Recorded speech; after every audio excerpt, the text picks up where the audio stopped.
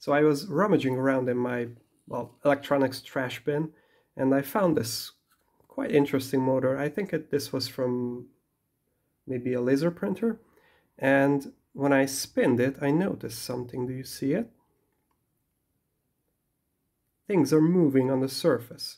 And I realized that I accidentally put it in a, a plastic container which had some iron shavings and as you can see, the iron shavings walk around in a circle. That was so neat. That was so mesmerizing to see that. Do you see that? I hope the camera picks it up well enough.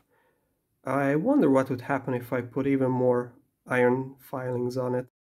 Here we go. Yeah, I think that's even better now.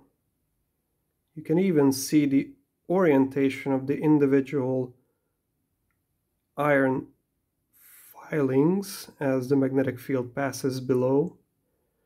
This must be a multi-poled permanent magnet motor, like, you know, 72 poles or something like that.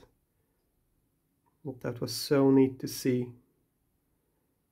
Yeah, so I just wanted to show you that. Thanks for watching.